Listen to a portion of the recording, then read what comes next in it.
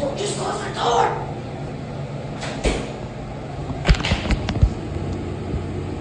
This one's a 2020.